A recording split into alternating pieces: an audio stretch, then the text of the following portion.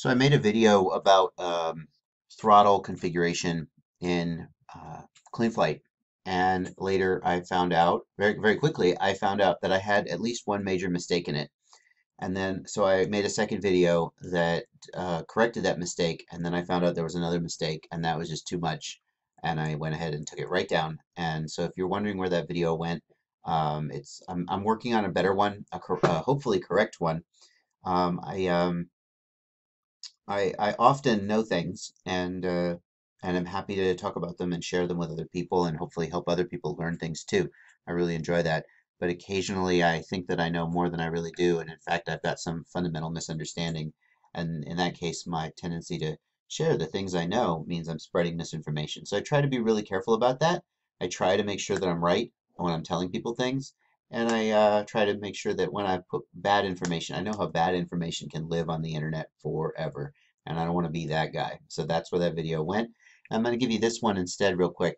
Um, you know, one of the things people say about ESC calibration is that ESC throttle calibration is, is you don't need that anymore in today's day and age with multi-rotors and flight controllers.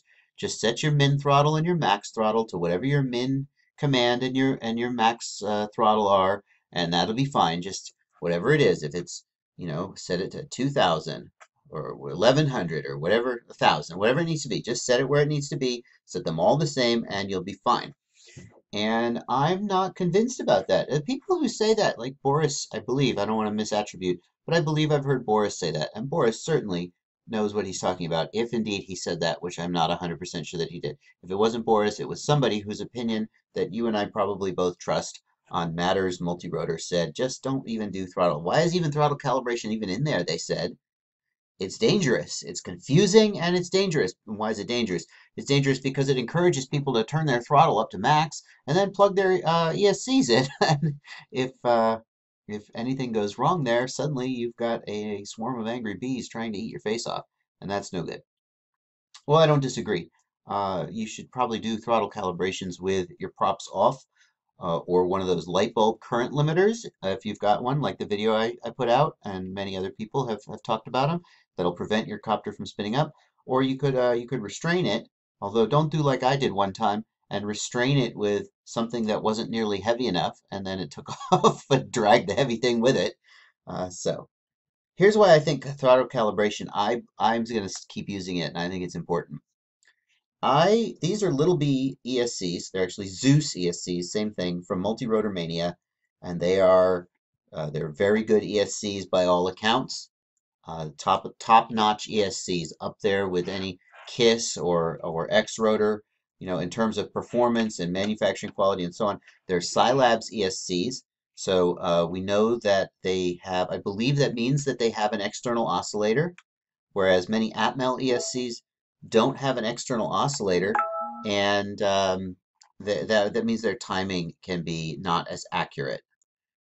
Uh, the, the Atmel ESCs without an external oscillator will use, they have an internal oscillator that in, inside the, the chip, and it's sort of a, a rough and dirty timing, but it's not nearly as accurate as an external oscillator. So what that means is that when the ESC tries to figure out what a microsecond is, if it, if it doesn't have accurate timing, then it's not going to be consistent. It may be consistent within itself, but it's not going to be consistent with other devices that may be running at a slightly different speed and they also may be very temperature sensitive. But devices with a good external oscillator will have a relatively consistent time reference uh, under various, from one ESC to another, and also under various temperature and other con external conditions. So, so what I'm getting at is that these are good ESCs that ought to have very consistent time reference and so on.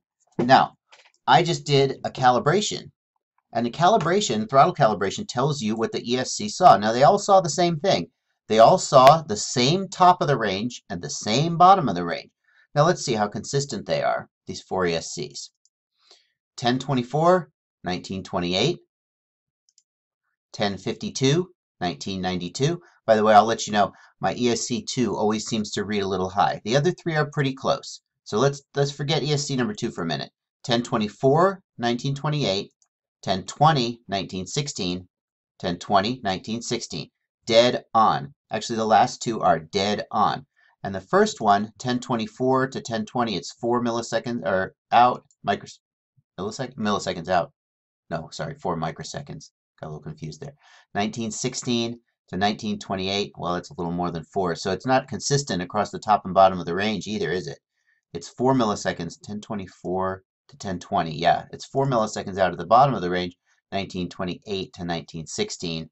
That's uh, 16, that's 12 out at the top of the range. Pardon me. I, I don't do math in my head very well. I hope I got that right. I'm not going to pull up a calculator and check though.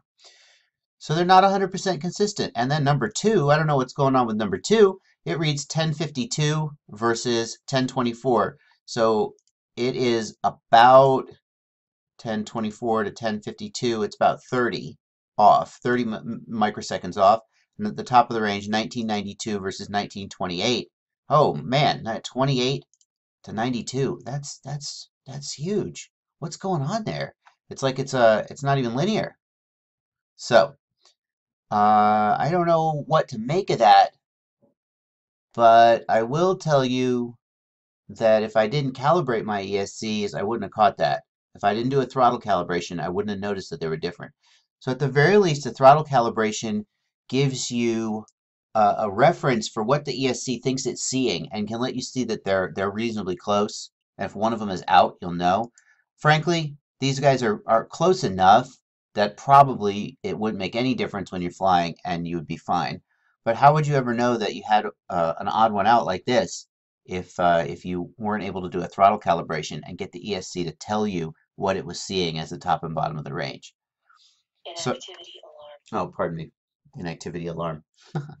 uh, so I don't know what I'm going to do about this uh, this ESC that seems out because not only is it off, it's not just off across the whole range, but it's actually it's actually got sort of a, a, different slope. It's more off at the top of the range than it is at the bottom. That's that's certainly interesting. I don't know. I'm not too worried about it, but uh, I do think that throttle calibration is a useful tool. Uh, and uh, it, if you're using Atmel ESCs or any ESC without an external timer, then I think you're going to see much less consistent results. And the throttle calibration will be more important to get the ESCs to have a consistent curve with each other despite the fact that their timing may not be perfectly accurate. All right, that's that's my two cents, and I will I will work on this other video about min throttle, max throttle, and so on. You may see that in a week or so after I'm sure I've got my facts straight, and and I'm also going on vacation tomorrow, so uh, I probably won't be posting any videos, but you'll probably still see me around the forums because I do like posting there. Bye bye.